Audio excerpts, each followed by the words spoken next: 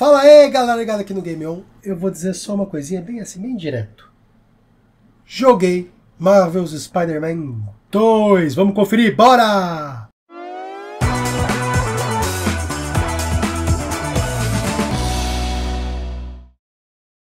Não tem nem o que dizer. Marvel's Spider-Man 2 com certeza era um dos jogos mais aguardados deste ano.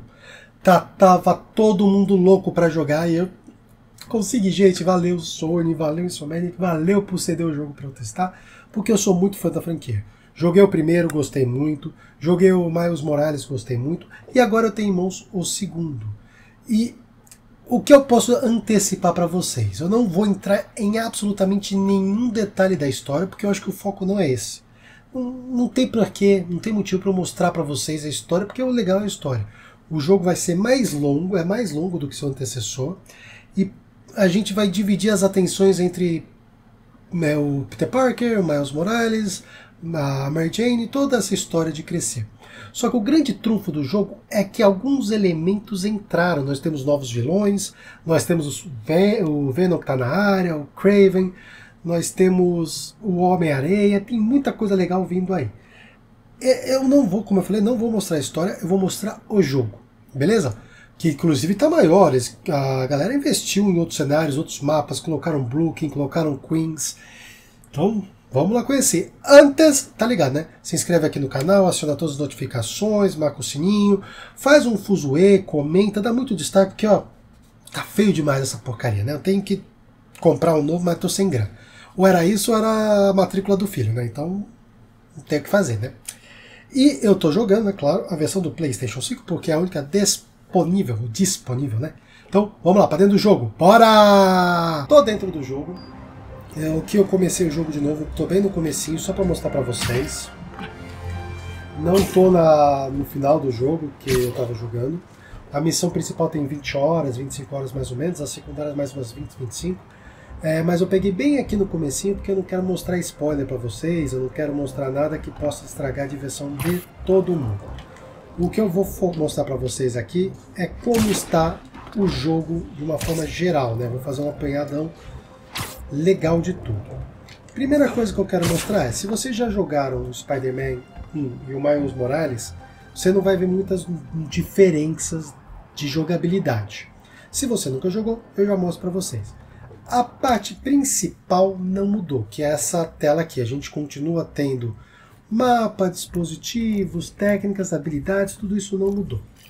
O que mudou, principalmente, é isso daqui. Temos a coleção, claro, né? é isso daqui. Primeiro é o tamanho do mapa. Enquanto no primeiro jogo a gente basicamente só ficava aqui em Manhattan, agora a gente tem outras áreas, o Queens e até mesmo o Brooklyn. Eu, por exemplo, aqui estou no Downtown Brooklyn, que é essa parte aqui. Ou seja, tem mais coisa que a gente possa explorar, que a gente pode explorar, que a gente pode conhecer, que a gente pode ver. Isso eu achei muito legal, um golaço. Ó, inclusive essa parte aqui, ó, era uma, um dos cenários que eles tinham liberado de fotos novas. Ó, o que, que é essa coisinha aqui? Deixa eu ver aqui o que, que é isso. Ó, tem uma pessoinha aqui. O que, que é essa pessoinha aqui? Spider-Man. Ah, Tasha. Thank you for coming. Ah, deve ser missões, I'm looking né? for my grandpa Earl.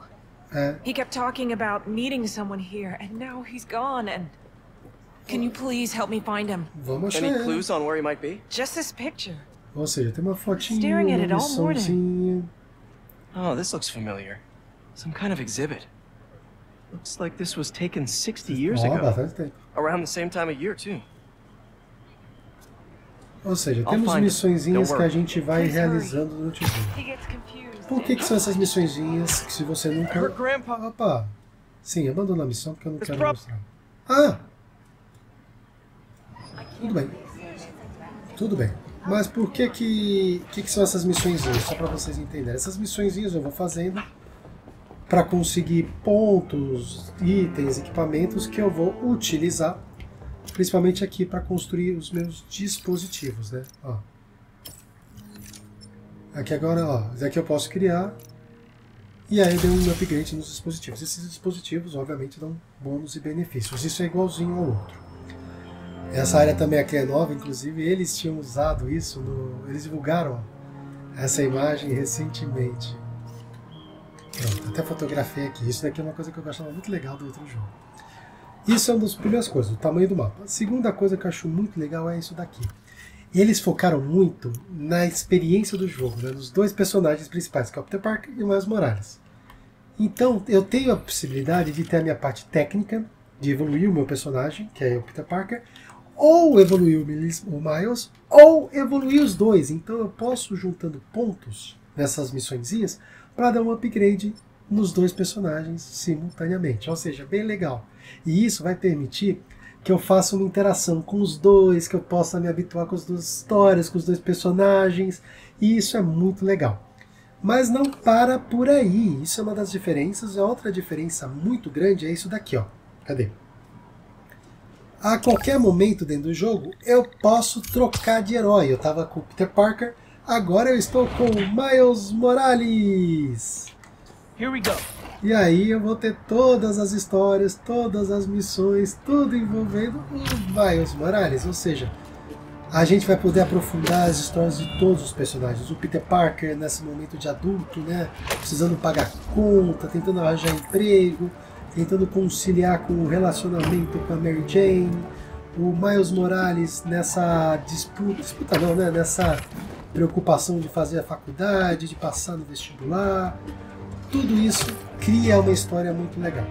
Você pode até perguntar, ah, mas se eu não joguei os dois primeiros, eu não consigo aproveitar o jogo, não sei o quê. Cara, dá para jogar sim, eu não vejo problema você já ir direto para o 1 2, sem passar pelos dois primeiros jogos. Mas é um, pô, vale a pena você se aventurar nos primeiros jogos, curtir, até mesmo para entender um pouquinho das histórias. Por exemplo, o filho do Osborne, que agora eu esqueci o nome, o, o, Osborne, o Osborne Júnior, não, o Norman Norman é o pai, eu, eu, esqueci o nome dele. No primeiro jogo ele não participa porque ele está com uma estranha doença. Nesse aqui ele já aparece. Nós teremos outros vilões que aparecem por aqui, tipo o Venom, o Craven. Então tem uma certa uma certa interação, né? Que é legal você aprender e ver. E aí, claro, tudo isso misturado com as nossas aventuras de Homem-Aranha, por exemplo, dar porrada em bandido. Cadê os bandidos aqui que eu vou dar porrada? Cadê eles? Cadê eles? Não estou muito longe, cadê? Ah, cadê? Cadê? Achei. Não, achei. Cadê eles? Eu quero dar porrada desses bandidos. Aí, ah, cadê eles? Ah, oh, estão bem. Boom! Time to close up. I'm taking him down. Poxa, isso aí tá difícil, hein?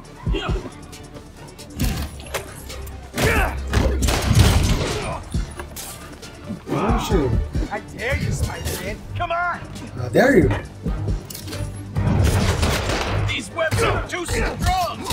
Ah, as minhas teias são top, velho. Tá pensando o quê? Toma, cola os dois carinhas aí. Vamos finalizar um. Ou seja, a jogabilidade, se você jogou o primeiro, você também vai ficar com uma boa familiaridade.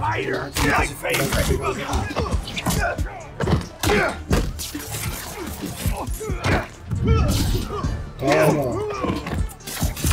Ó, tem aqui algumas habilidades também que eu posso ativar. Toma!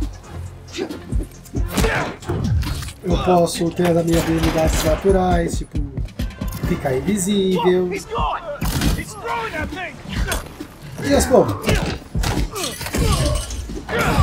Aí. Derrotei os carinhas, ganhei recompensa, ganhei pontos. Que eu vou usar pra dar uns upgrades nos meus itens aqui. Deixa eu ver se. Nada que eu já fiz, né? A experiência ainda não ganhei. Mas basicamente é isso o jogo, gente. Ele não tem muitas novidades de jogabilidade, mas uma história totalmente inédita e muito divertida. Tudo isso com a, claro, qualidade do PlayStation 5. Ah, tem também a minha redinha aqui que é muito comum nos quadrinhos e agora também está aqui disponível no jogo. Eu posso dar uma explanada. Toma, super-homem!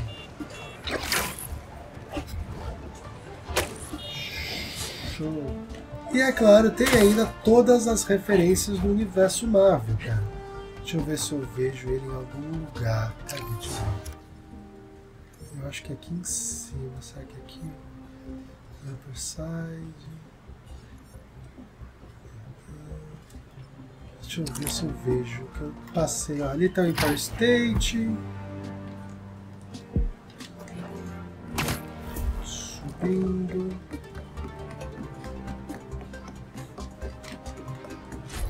Ah, ah, peraí, é o Fisk isso daqui? Deixa eu ver.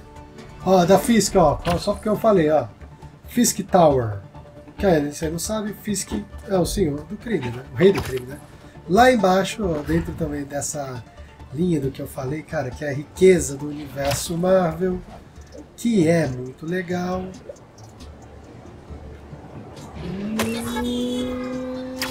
Opa, cai.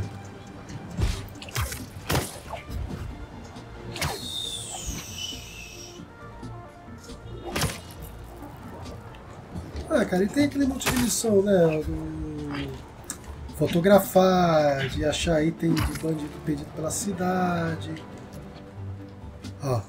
Lá no fundo, não sei se vocês já conseguiram ver. Sim, é exatamente isso. A Torre dos Vingadores! A Avengers Tower! O jogo tá em português, gente. Tem legenda e tem é, dublagem em português. Eu optei em deixar em inglês a legenda, a voz, para não ficar minha voz em português, a voz do carinha, uma falação. Assim fica mais fácil eu apresentar o vídeo para vocês. Cadê? A Torre dos Vingadores, olha, olha que lindo! A Torre dos Vingadores. Vou até tirar uma foto, cara. Lindo. Ai, meu Deus.